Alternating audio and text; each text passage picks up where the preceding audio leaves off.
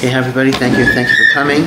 And uh, tonight's shir is dedicated uh, refuah shalema for Ari Benyamin ben Sora Leah and Shoshana Bas Rachel Leah, and for all of those whose health has been affected by the war, and especially for the safe and quick return of our brothers and sisters that are held in captivity. As well, in Aliyat Neshama for Yitzchak Hirsch ben Eliezer, as well as the mother of Larry and Lynn Finson, Shulamis Bat Chaim Mordechai, uh, on her second yahrzeit, the 22nd of Shvat, and for Shalom Ber ben Ephraim, Begisa Faigel, and Gittel Bat Shmuel and uh, Ida. Again, we hope that uh, the Divrei Torah should be Eloi, Eloi Nishmatam, and we thank everybody uh, for their support of Achzakas uh, Torah. Uh, you'll remember a few weeks ago we read about uh, the four Lashonos of Geula. Uh, there are four terms of redemption that HaKadosh Baruch Hu used. Votseisi, I will take you out. V'lakachti, I'm sorry, V'yitzalti, I will take you out. I will save you. V'galti, I will redeem you. V'lakachti. And these are why we have four cups of wine because of the four Lashonos of Geula, and we gave a share on the meaning of the four Lashonos of Geula. But the one thing that is interesting and relevant to this Parsha is that the fourth Lashon, V'lakachti eschem li I will take you unto me as a nation, is technically not referring to the Exodus at all. It is referring to Matan Torah. You will become my nation at Matan Torah. So it's very interesting. You see from here that the giving of the Torah, which occurs in this parsha, is not simply an extra thing. It is actually the essence of what the redemption from Mitzrayim is about. It is one of the Lishonos of Geula. It is the Tachlis of Yitzias Mitzrayim. I remember years ago when there used to be the old uh, big bad Soviet Union. So during the 1970s, there was a lot of activism to kind of get the Jews out of the Soviet Union, free them. And every synagogue, conservative, reform, orthodox, had a big sign on the lawn saying, Let my people go, which is a somewhat of a quote or a paraphrase from Exodus. But the truth of the matter is, the full pasuk says, Sholach ami, which is not let my people go, but Sholach me, send forth my people, vayavduni, so they will serve me. They left out the vayavduni. In other words, it wasn't freedom alone that was needed. It was a freedom to be able to serve HaKadosh Baruch Hu. And thus, Matan Torah is the fourth Lashon of Geula, because it is the ultimate tachlis of Yitzias Mitzrayim. And we see from this, uh, Chazal say in a number of different ways, that true freedom is not you get to do whatever you want, but true freedom is the ability to submit yourself to the Ratzon Hashem. Pirkei Avos tells us, Ein ben chayrin elamish osek b'Torah. The only one who is free, chayrin, is the person who is able to learn the Torah, keep the Torah, because otherwise we're just an animal. If I simply go whatever way my Yetzer Hara tells me to go, I'm a slave. Maybe I'm not a slave to some outside person, but I'm a slave to negative forces within myself. I'm not in control. I'm like a leaf that is being blown and buffeted by winds in all directions. It is precisely when you have Torah that gives you discipline and guidance and instruction that you're able to be free in the sense of bringing out the beauty of your neshama, bringing out your potentiality. Chazal say as well that the grain offering of Pesach is the Omer offering on the second day of Pesach, and the Omer offering is barley. On Shavuos, the grain offering are two loaves of wheat bread.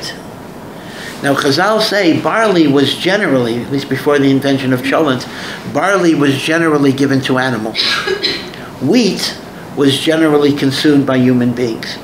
The freedom of Pesach, of Yitziat Mitzrayim, as lovely and beautiful and fundamental as it is, just gives me the freedom of an animal, animal liberation. It is Matan Torah that transforms animal liberation to human dignity and human freedom. And thus, Matan Torah is an integral part of Geulas Mitzrayim because it is the tachlis, it is the purpose of that Geula uh, to begin with. I mentioned a number of times, I'll just repeat it very quickly.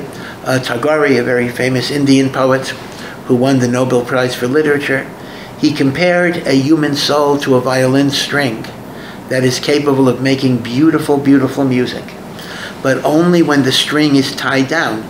If you had a loose string on the table, totally free, unencumbered, not held down in any way, you would not be able to get any music out of that string. You tie it down, you constrict it, you limit its movement, then and only then can it produce music. The same thing for a human being. We think if I could just do whatever I want, I would be free. The answer is no. I wouldn't be able to focus. I wouldn't be able to realize the kochot, the powers, the abilities that is within me. It's only submission to the structure that allows even one's creativity to come out. Right? And that's the idea of Ein Ben Chorin Elami Sha'osek B'Torah. No one is free except one who learns Torah. This is why we go from Sa'orim, a barley offering on Pesach, to Chitim. Uh, and this is why, in effect, although it's not the time of year yet, the counting of the Omer is a linkage between Pesach and Shavuos. There's a comment of the Ramban. The Ramban views the whole period of counting of the Omer as a Chol Hamoed, meaning to say Pesach and Shavuos are one long holiday with a you know 49 day Chol Hamoed. So when you tell your boss you don't work during Chol Hamoed, then you disappear for all of Sfiras HaOmer, you have the right to do so, although I doubt that the job will be held open if you simply don't show up for 49 days. Uh, but be it as it may, Ramban says Shavuos is not a separate holiday. Shavuos is the last days of the Pesach Shavuos continuum because once again it is the culmination, it is the purpose of, of, of redemption. So in a sense, that's why Parshat Yisro is still in Shovavim. Shovavim are the week Shmos Va'era Bo B'Shalach Yisro Mishpatim because once again, uh, even though Shovavim is about being liberated from your inner Mitzrayims, Matan Torah is a chelak, an integral part of that liberation of the slavery of, of Egypt. Numayod Rosh Hashiva Ohr Somayach Rav Nota Schiller, he should be well, his, his health has taken some difficult downturns, but Bezer Hashem, he should have a refuah shlema, uh, used to say that when we talk about free will, and you ask somebody, what is free will? What is Bechira? So the standard answer would be, Bechira is my ability to do whatever I want. Not that I'm allowed to. God doesn't want me to do whatever I want, but I have the power to do whatever I want. So Rabbi Schiller always said that an animal can do whatever it wants. Bechira is the power to do what you don't want to do, and the power not to do what you want to do. It's the other way around. The real kayach of Bechira is the override that we have over our natural inclinations. That is what a Baal Bechira is. A person who simply automatically responds to whatever they desire at the moment is not really exercising free will. They are simply a victim of their nature, whatever their nature is. Choice involves overriding your nature. Fact, even in a secular standpoint, the idea of deferred gratification. I want something, but I realize that it's better if I wait. In fact, what's the story? Uh, this is a very famous experiment in social psychology where they offered little children a choice. You can have the candy right now, or if you wait uh, 10 minutes or something, you'll have two candies. So some kids said, I want the candy now. Other kids waited 10 minutes. And they tracked these children over many years, and it was determined that those who were able to defer gratification for 10 minutes were much more successful in life because they realized that you don't make decisions based on the immediate short term, but you look at the long term consequences. So, Bechira is not, I do what I want. Bechira is, I sometimes do what I don't want because it is better for me in the long term. Now, granted, that experiment only involved 10 minutes, but you know, for, uh, for an eight year old, 10 minutes is an eternity. Uh, so they still were exercising uh, their Bechira in a very, very responsible way.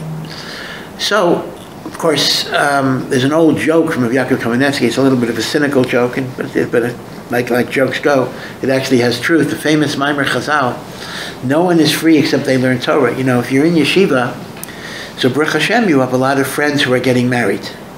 So there's always a chasna to go to. Now, especially Yerushalayim, there's always a chasna. If New York City, there's always chasnas. So as a result, you know, guys are always taking off. They got to leave yeshiva to go to Detroit or go to Chicago or go to Los, Los Angeles. And Rav Yaakov didn't like that. He felt that if you're learning in yeshiva, you don't take off just to go to friends' weddings. So he said he now understands the meaning the only person that's free is a person who learns Torah because any other job you have, you can't tell your boss every other day, I got to leave. If you're in yeshiva, you can tell your boss, I got to go to a chasna, got to go to Sheva Brachas, got to go to a bris, got to go to a pidyon haben. So he says,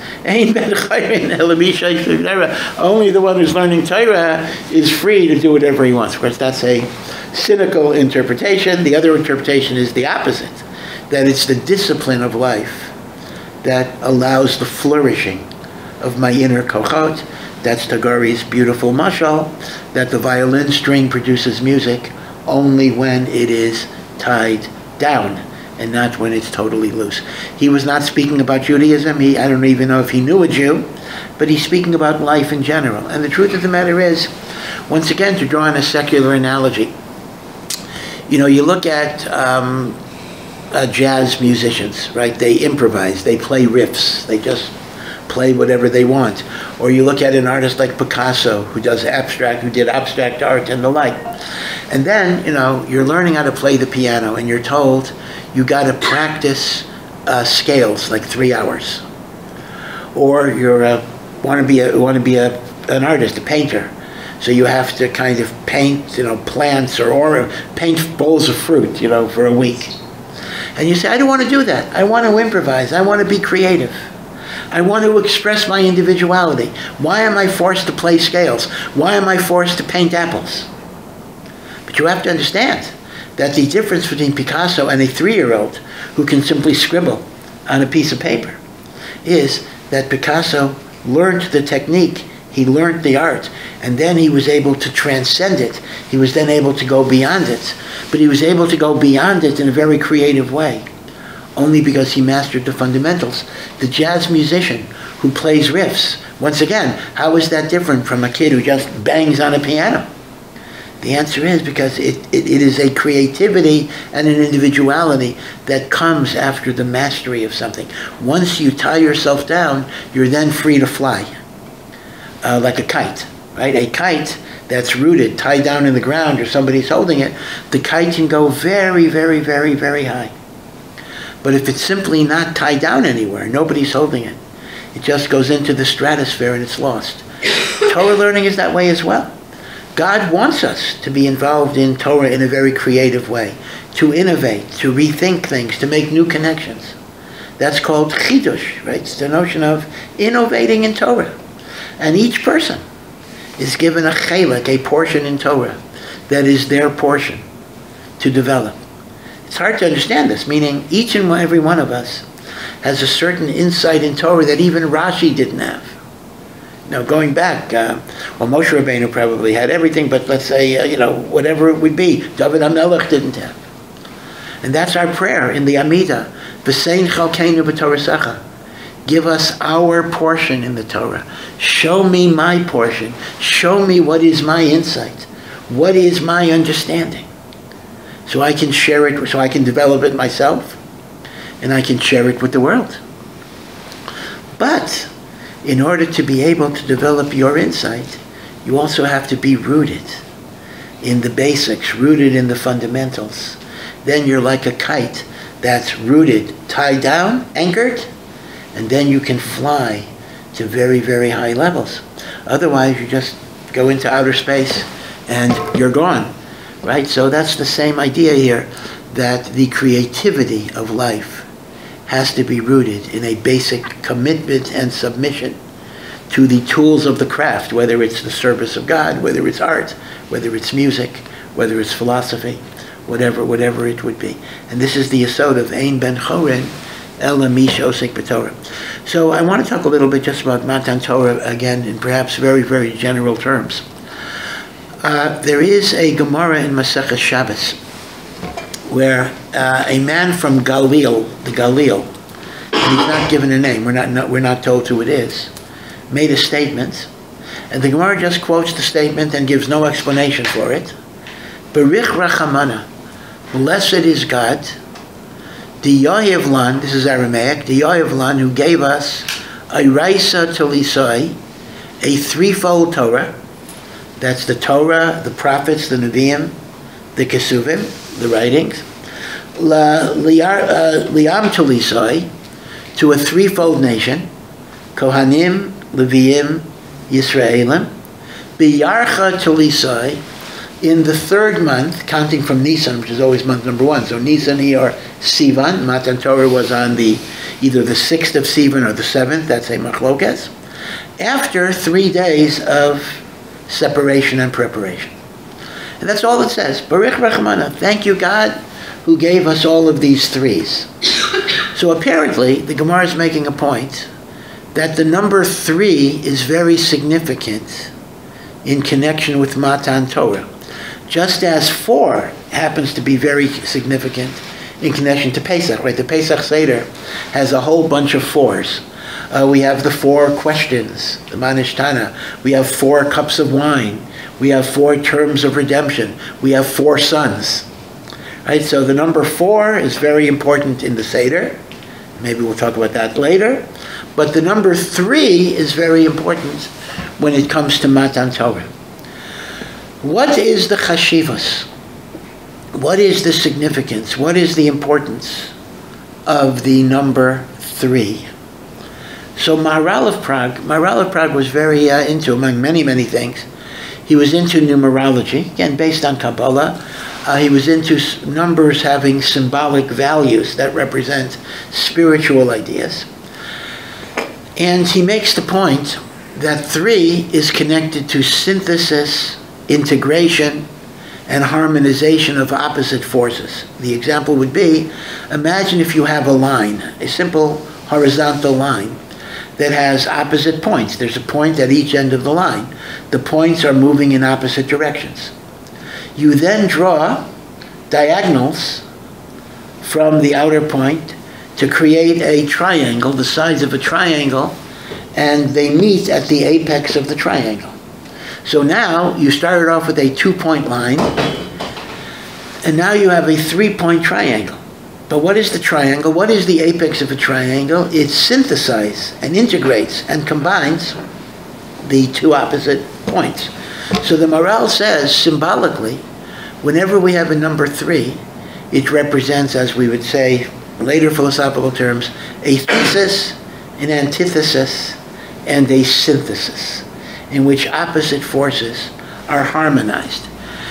In Kabbalah, this is very much so. If you go to the lower seven sfirot, the lower, we're not, not counting Chachma Bina, uh, Kesser Chachma Bina, that uh, are the higher spheros, but the lower spheros, so the first three, which is all, all we need to talk about, is Chesed, loving kindness, Gevura, inner strength and discipline, and the third synthesis, and the third factor is called Tiferes, which is beauty. Avram represents the spiritual force of chesed. Yitzchak represents the spiritual force of constriction, limitation, fear of God. But when they are harmonized in the personality of Yaakov, that reaches a beauty, the combination, the mizug, because spiritually, uh, each force by itself could be dangerous.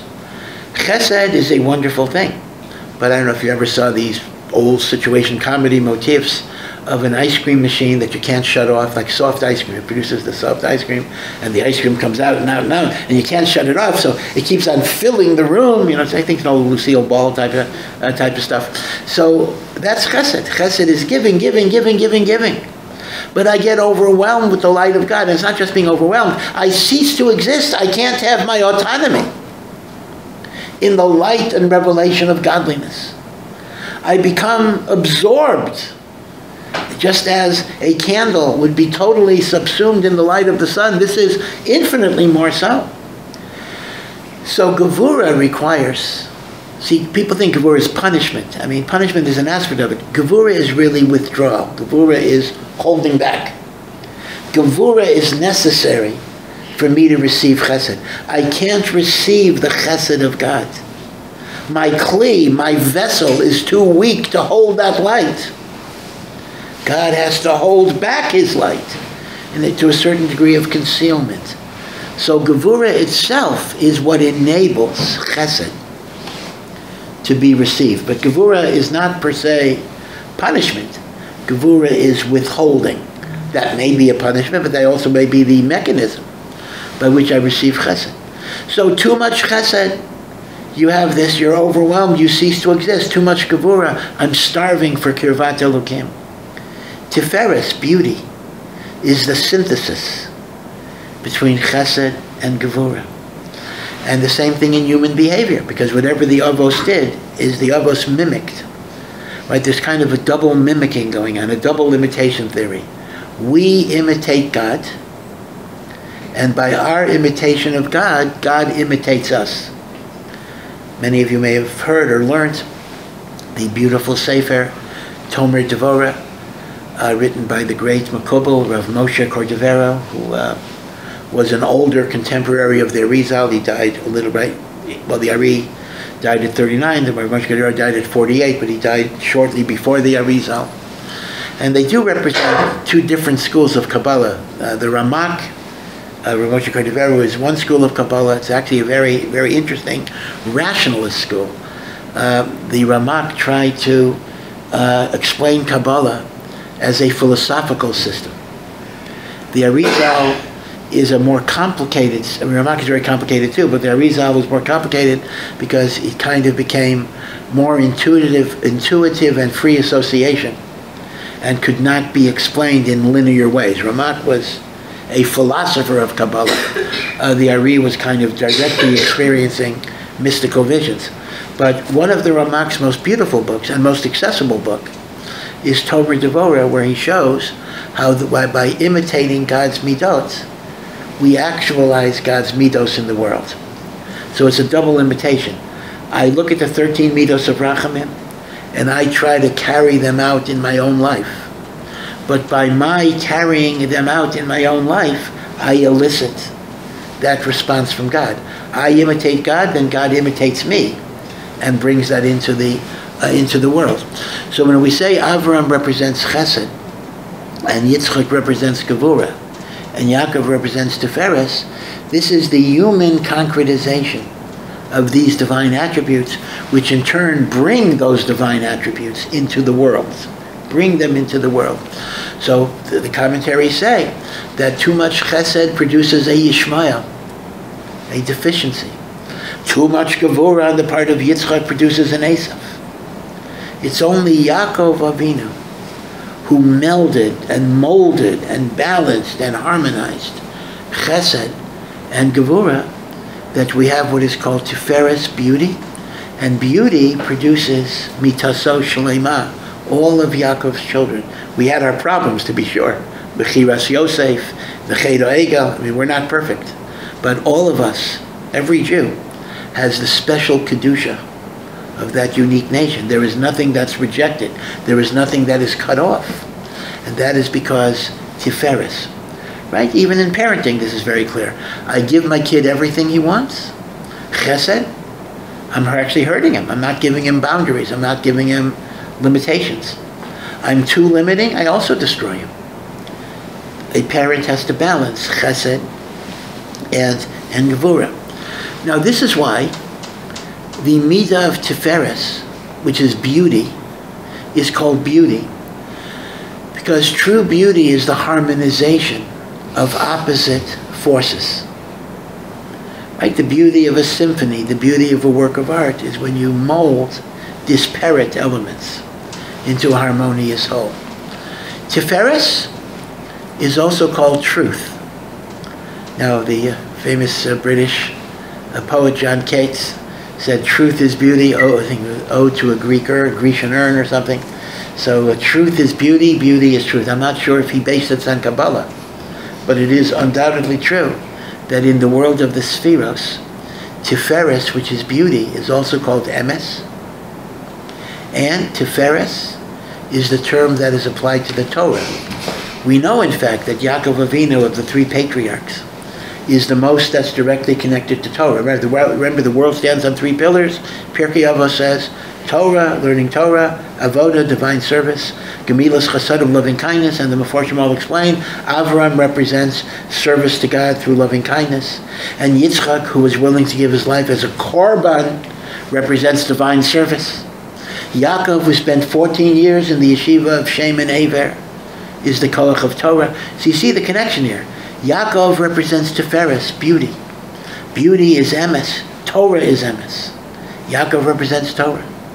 That is why the Maharal, who wrote a whole sefer on Matan Torah, he wrote a sefer on the Exodus that is called Gevuros Hashem, the might of God, and he wrote a sefer on Matan Torah. Many, many, big sefer that is called Tiferes Yisrael the beauty of Israel.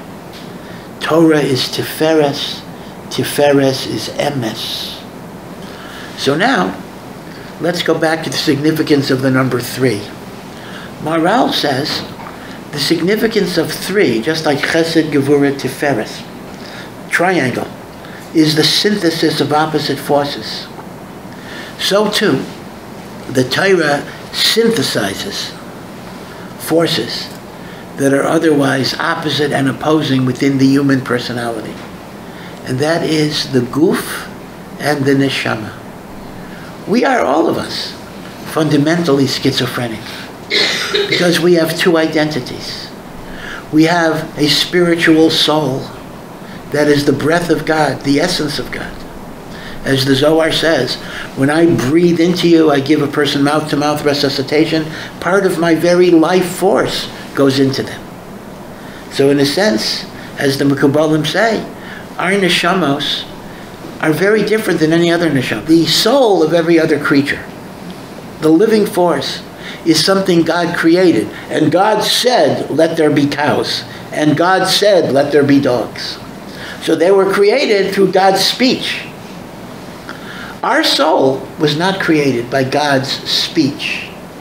Our soul was created by God's breath.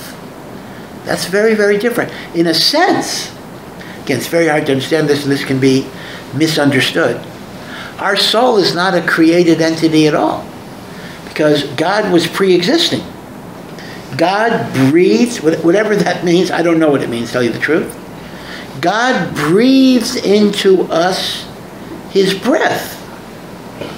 Now, God's breath was not created, God's breath is part of God because God is an indivisible unity. And God breathed his breath into us. So, this is the meaning of the oft repeated statement. Our neshamos, our chelek, eloka, mimal, is an actual part of God. And as the Baal HaTanya emphatically says, chelek eloka mimal mamash he adds the word mamash. It really is. Now, this gives rise to a lot of things. You know, you know, the truth of the matter is, these Kabbalistic ideas have become common currency. I mean, you can, you can hear any mashgiach, any uh, yeshiva rebbe say, "Our neshamos are chelek elokamimal." It's, it's a common way of describing it. One should know there's a tremendous, tremendous, tremendous controversy uh, on those very words. And uh, this was one of the great, great controversies that the Vilna Gaon had against the Hasidic movement. We know that the Vilna Gaon did not get involved in Jewish politics too much. The Vilna Gaon's only interest in life was to serve Hashem, to learn Torah, to teach Torah. He was not interested. The Vilna Gaon was not a Rav. He was not a Rosh Hashiva. Uh, he did not have any position in the Jewish community other than the fact that he was the greatest, you know, Gadol of the generation. But he did not get involved in too many things outside of his learning and outside of his teaching. But one of the very, very few issues that he was very aggressive about was his opposition to the development of this new Hasidic movement. And uh, to this, you know, he signed uh, excommunications, different bans, and the like. Now, the story of why the Vilna Gaon was opposed to Hasidus is a complicated story, and it's a multifaceted story. And one of the interesting things, maybe we'll give a shiur on it sometime, is his own disciple, Rav Chaim Volozhiner, who was very, very close to the Vilna Gaon, uh, did not sign the bans against Hasidus. Many great rabbis joined the Vilna Gaon. Rav Chaim Volozhiner did not. People speculate. Why?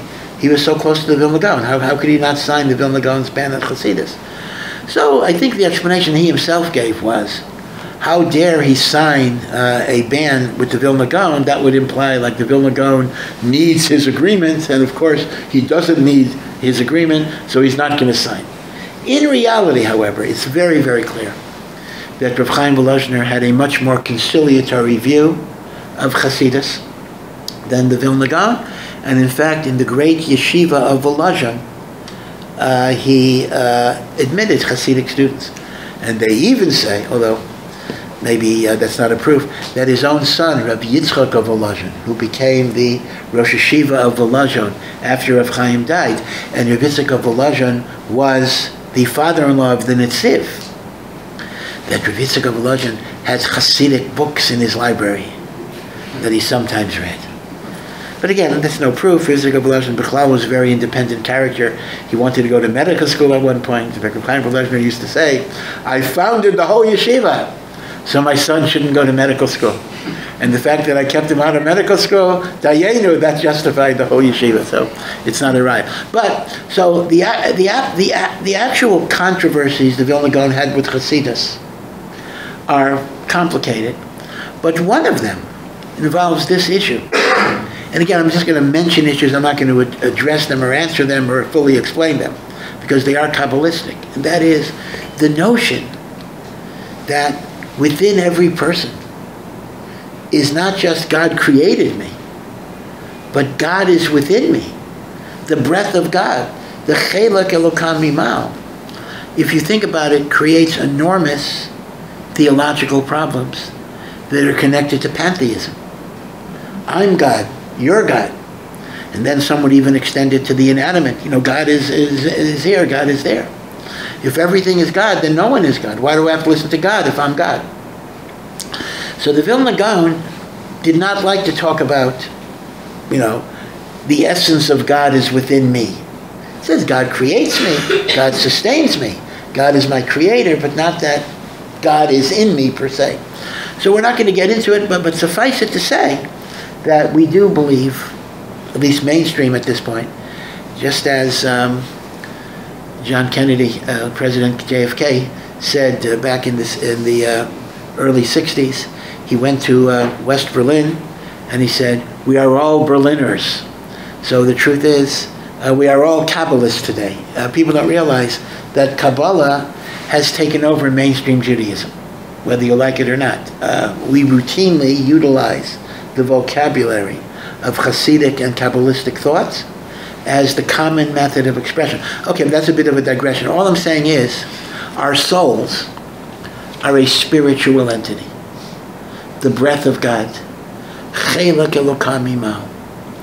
And the soul only has one desire. The only thing the soul wants is to be connected to its roots, to be connected to God through Torah, through mitzvos, through Maasim Tovim, through Ahavas Yisrael. But we are also bodies. Our bodies, our Yetzer Hara, you can describe it different ways, has many other things that it wants. It seeks taiva, physical pleasures, laziness, whether it's food or sexual relations, or accumulation of money, or sleep. So we have this irreconcilable conflict between body and soul. We have this conflict between gashmius, physicality, and ruchnius, spirituality. And sometimes on a good day, the ruchnius wins and the Yetzer Tov is victorious. And there are going to be other times in which the other side wins and we get pulled down. How do you navigate it? It's like that line with two opposite points, the Ruchnius, the Gashmius. Sometimes I'm there, sometimes I'm there. But the Torah, says the Maharal, is connected to the magic number three. Because the Torah creates a synthesis, an integration, a harmonization of body and soul. Because the Torah teaches us that you can serve God not only by avoiding physicality and materialism, like by davening, learning, getting away from the physical, but you can serve God within the context of physicality itself. You can eat and enjoy your food, but by making brachos and by having gratitude to Hashem and by having kavana that at least in part I'm eating to give me the health to be able to serve Hashem better. So as the Rambam himself writes, at that point, even the physical activities you're engaged in become kaddish. They become holy. They become elevated. They become spiritualized. A person plays basketball, a person jogs. Now the Rambam makes a very interesting point about physical activity. Actually, it's a very fascinating point. And everyone knows that the Rambam was, of course, a physician, and he was a very famous physician. The Rambam was actually one of the great physicians of the Middle Ages. And along with his halachic works that are still, and philosophical works that are, of course, still learned, he, actually, he also wrote many medical works. Again, I, I would say that they're less studied, maybe for good reason, but he wrote treatises on asthma and on stomach uh, problems and the like. But in the Mishneh Torah itself, he incorporates two chapters in Hilchos Deos on exercise and diet and things that will uh, help you from, uh, from getting ill and the like. And in fact, uh, much of that medical advice is still considered valid. And uh, there are even diet books, modern diet books, that are written based on the Rambam's suggested diet and the like. So the Rambam was a very big advocate, as you would expect, for physical health, including diet, exercise, sleep, all of the things that we would normally associate today. But in his introduction to Pirkei Avos, that's called the Shmona Prakim, he makes a very fascinating point. He says that the only thing that a person should think about in life is whenever you have to make a decision, is this going to bring me closer to Hashem? Or is this going to take me further from Hashem? And every decision has to be made in light of that purpose. Now he says, all of us would agree generally that if somebody is addicted to food, that's kind of a disgusting thing. No, you know, food, sex, you know, why is he addicted to it all the time? And yet we don't think that way, the Rambam says, if somebody is addicted to health. Let's say the person, now there are people who are addicted to exercise. They jog, you know, eight hours a day, whatever it is. We think, well, that's virtuous. We look at that guy, the Rambam says, and says, that's a tzaddik. He takes care of himself. And we look at that guy, that guy's a glutton. The Rambam says, what's the difference? One guy's addicted to food, and one guy's addicted to good health. He says health is not inherently more virtuous than any other addiction. Ah, but the greatness of good health is it's not an intrinsic good. It is what we call an instrumental good by good health, I'm able to serve Hashem. I'm able to live longer and do more mitzvahs. I'll be there for my spouse and children. See, it's a very interesting point. Health is very important, but health is important not because it's intrinsically valuable. Says it's no more intrinsically valuable than anything else you do with your life. But health is the means that can bring you to the things that are truly important. And that's why, indeed, the Rambam says there's a mitzvah to take care of your health. But one should not look at health as the end all of life. The purpose of my life is not to be healthy. This is an old joke they say about uh, the, uh, the person went on an exercise program. He said, Well, you know, I got good news.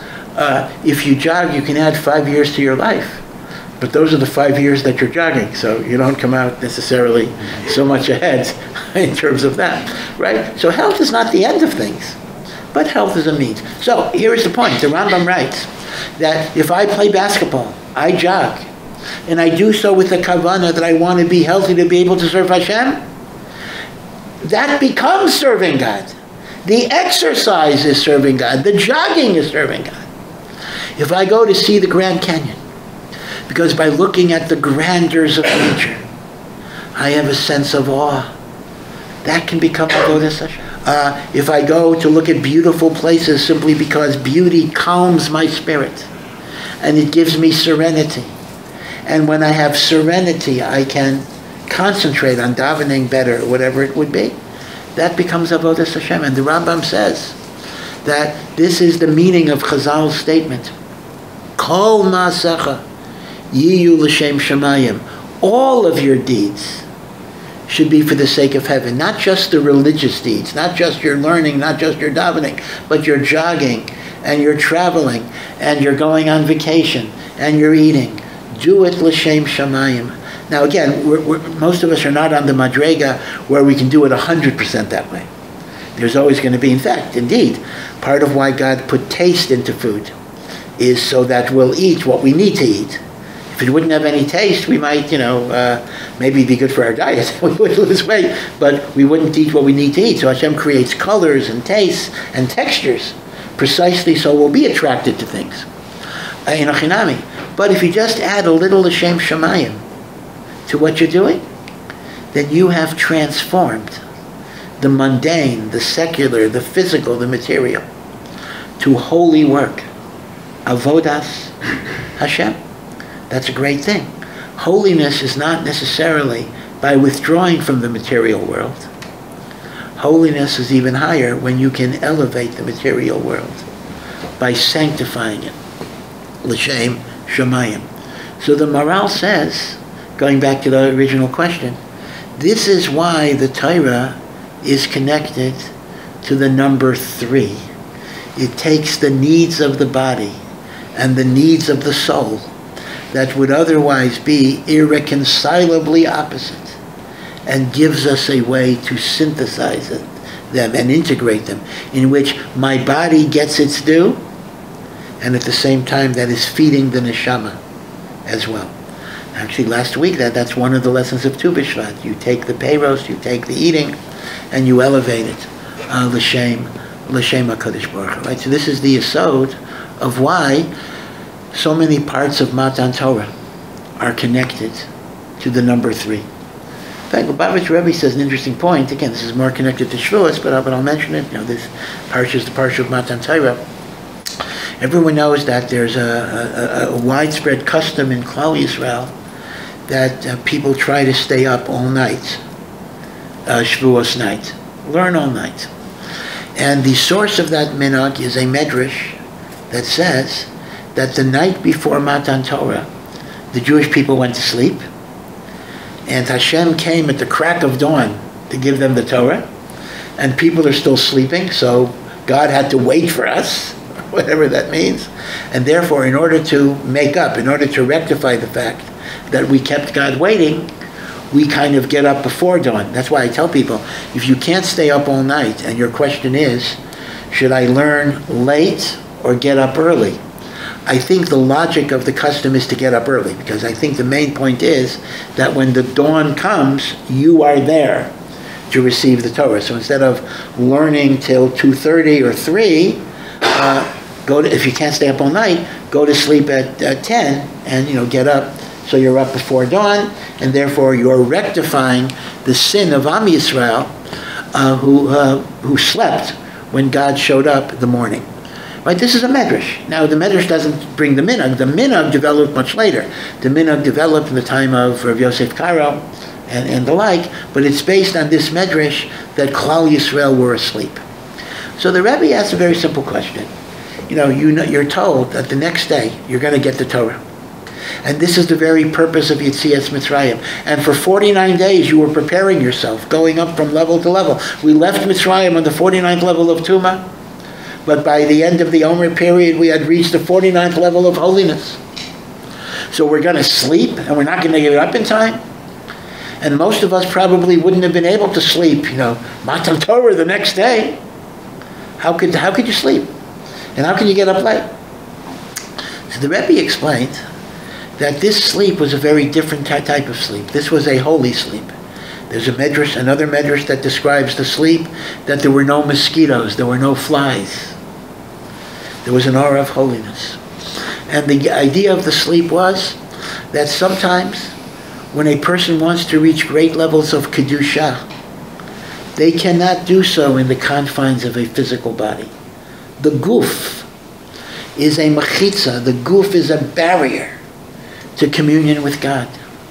So that the great tzaddikim, and the Vilna Gaon writes this, their neshamos, their godly souls, not their biological soul, their godly soul leaves their body, goes up to Shemayim, absorbs all sorts of secrets and wisdom which it couldn't really comprehend in a physical body, and then comes down. That's one of the reasons, you know, it's a well-known idea that sometimes when you have a problem that you can't figure out, you go to sleep and you wake up with the answer.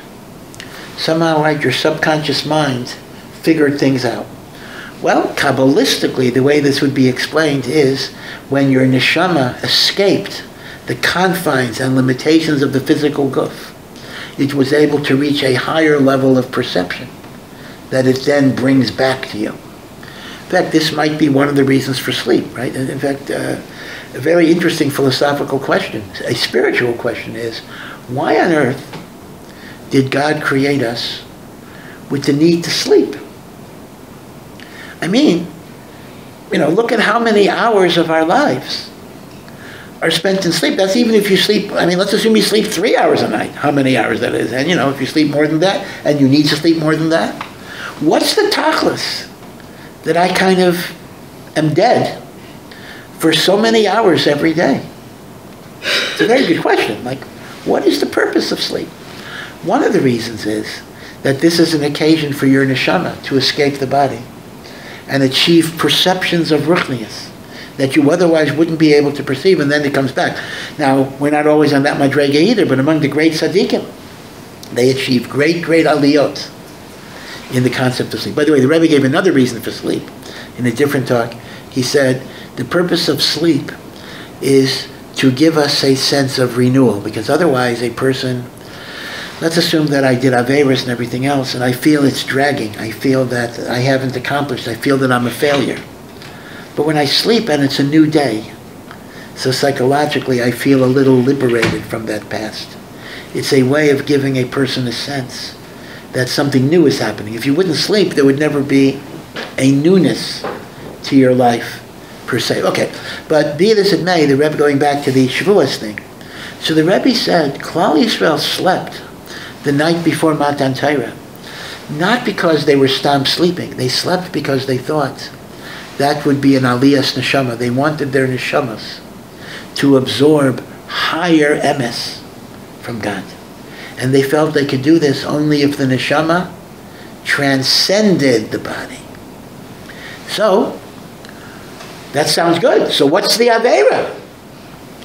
The Avera is that Matan Torah is not about escaping the physical. Matan Torah is serving God within the physical. Yeah, they had a cheshbon. They had a very, very good cheshbon. But that's not what Torah is about. Torah does not say, serve God by rejecting the physical. The Torah says, serve God by taking the physical and elevating it.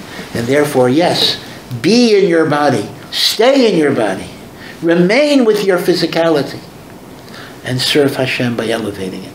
And that's kind of the tikkun of staying up all night in our tired, you know, uh, lack of focus state, in which we're serving Hakadosh Baruch Hu with our guf, and not only with our with our neshama. And the, going back to the Maharal, again, I'm combining different things. This is the idea of the Torah connected to the number three. Three is synthesis, integration, harmony. Chesed, Gevura, Tiferes is what, actually, actually, I should clarify. If you've been following me, I've actually mentioned two different types of synthesis. One is Chesed, Gevura, Tiferes. The other is body, soul integration. And there was really speaking about two different integrations. The Torah integrates the midah of Chesed with the boundaries, and the Torah integrates the Ruchnius and the Gashmius, right? Those are two different integrations but both of them are subsumed under three, which is Tiferes, beauty, which is Torah, which is Emes, truth. Truth can only exist when conflicting opposite forces are harmonized and balanced and you don't go to one extreme or another. Extreme will always be a distortion of emes. That itself has a lot of relevance to many other questions as well. Um, okay, so now I just want to give you one more example of this, and this is a thought from another Hasidic Rebbe, the great Rav Tzadok of Lublin, who died in 1900. And he points out that uh, right before the Aseret Adibros, the morning of the 6th of Sivan or the 7th of Sivan, there's actually a machlokas in the Gemara, was the Torah given on the 6th of Sivan? Or was the Torah given on the 7th of Sivan? By the way, I just want to point out just for your own knowledge, and I'm not going to address this. This is not a machlokas when Shavuos is uh, people sometimes get confused. Oh, we have a machlokas in the Gemara. Is Shavuos six or seven? No, Shavuos is Vadai the sixth. But there's a machlokas. Did we get the Aseres Adibros on Shavuos? Or do we get it the day after Shavuos? And indeed, the Magen Avram asked the Kasha, what's the sense here? If the Torah was given on the seventh, why would we celebrate Shavuos on the sixth? Good kasha, we'll talk about it later, but it doesn't change it. Shavuos is not affected by this controversy, but this controversy is historical. Was the Torah given on the 6th, or was it given on the 7th? But that morning it describes kolos, there was thunder, ubrakim, and lightning flashes. And Chazal even say that they heard uh, I'm sorry, they saw the sound and they heard the colors. In other words, uh, there was, what do they call Kinesthesia, there's that thing where your different senses move in opposite things. What is it called? Synesthesia. Synesthesia, yeah, yeah, yeah. So they experienced that. So look at what it says. Kolos ubrakim. Thunder and lightning flashes. And then Hashem gives the Aseres Adibros, or the first two. That itself is a big machlokas. We hear only two, and then we ask Moshe to be the intermediary. That's how Rashi understands it. Or did we hear all ten? That's a big, big machlokas Rishonim. What exactly did we hear? But after we heard what we heard, it then repeats. Everybody saw the kolot, the thunder, the lapidim and the torches, the flames in the sky. So Rav Tzadok points out there is a subtle distinction between the pre-Matan Torah description and the post-Matan Torah description. Pre-Matan Torah, it's kolos uverakim, thunder and lightning. After Matan Torah, it says kolos velapidim, thunder and torches. Very small difference, flames. But Rav Tzadok wants to suggest that the difference in the visualization of Am Yisrael represents a spiritual transformation pre-Matan Torah and post-Matan Torah. Even before the Torah was given, the human being, even a non-Jew, has a spiritual desire to be connected to God. The statement that everyone is created in the image of God applies to Jew and non-Jew. But without a Torah, you can only achieve holiness by rejecting the physical. The physical is going to drag you down. The physical is going to connect you to your animal self. So you only can achieve Kedusha that is why, for example, Christianity, or at least Catholicism, requires celibacy. Because in the act of a sexual union, you're going to be dragged down. Poverty. Whether it works or not is, is another question. But nevertheless, the model of holiness in these religions is one of asceticism, renunciation, separation. But the problem is, there's no way you can ever be totally separated as aesthetic as you want to, ascetic as you want to be. You have to eat. You have to sleep. You have to go to the bathroom. You can't escape the body that you're in. So Rav Tzadok says that modality of kedusha is described as lightning, because what is lightning? A brilliant flash of light. that then plunges you into total darkness. Light, darkness, on, off. That's the holiness of dichotomy. That's the holiness of contradiction. When I give into my body, I'm not with God. And when I feed my soul and deny my body, I am with God. On, off. Schizophrenia. No consistency. That is the holiness of lightning.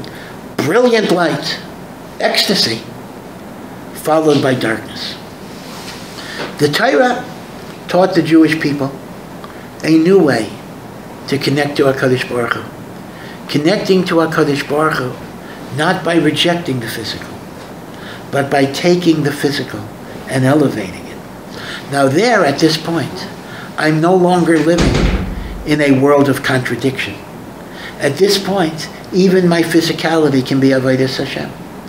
So that's described as a torch. The difference between a torch, a lapid, and a barak, I know in Israel we have two politicians. We have Aaron Barak and, and Lapid, Yair Lapid. Okay, but uh, putting the politicians aside, the difference in a Barak and a Lapid is a Barak is brilliant light followed by total darkness.